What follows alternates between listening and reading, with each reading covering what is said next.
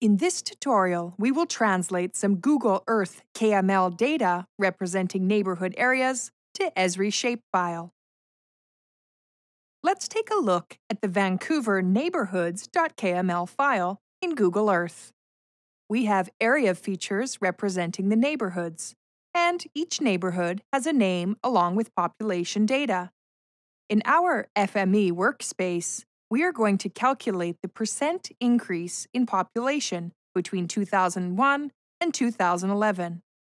Here in the Places window, make a note of the name of the folder Neighborhoods that contains the spatial and attribute details.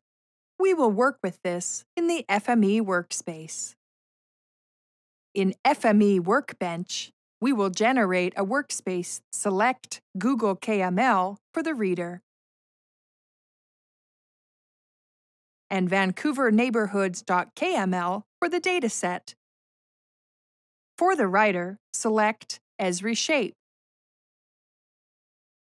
Also, select a location to write the shapefile to. FME scans the KML file and presents KML elements as feature types. Remember, it's the neighborhoods element that contains the spatial and attribute information so we will only read that feature type. There are two things to notice once the workspace is created. First, FME has automatically put in a geometry filter transformer. This is because we are translating data from a format that can handle multiple geometries per file to a format that only allows one geometry per file. So, FME automatically separates the geometries for us. Remember, we are dealing with just area features in our source dataset, so we can delete the outputs from the other geometries that we don't need. Also notice that the attributes in the source dataset are more than 10 characters long, but for shapefiles, the limit is 10 characters for attribute names. Therefore, FME has automatically truncated them.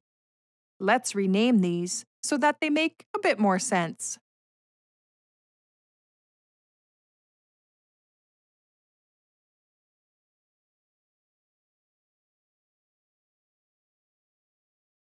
Since we have renamed them, we've lost the attribute mappings from the source. So let's quickly connect them.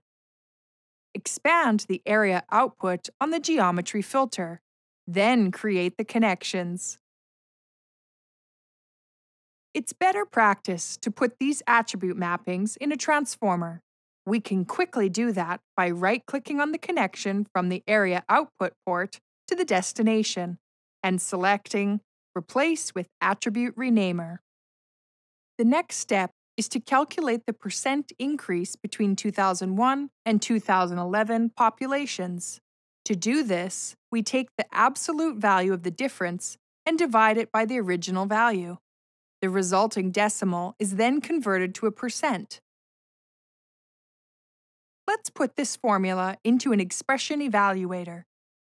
First, we will give our new attribute a name, pop change. Then we create the expression in this window.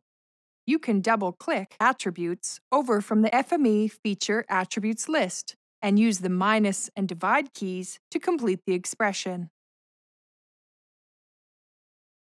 We will add some parentheses around the whole expression and multiply by 100 to get a percent value. One last thing, let's add our pop change attribute to our destination shapefile schema. Its arrow is automatically green because we've named it exactly as we did in the expression evaluator. Run the workspace. Right-click on the destination feature type and choose the Inspect option. The output shapefile opens in the FME Data Inspector, and we see our new pop change value.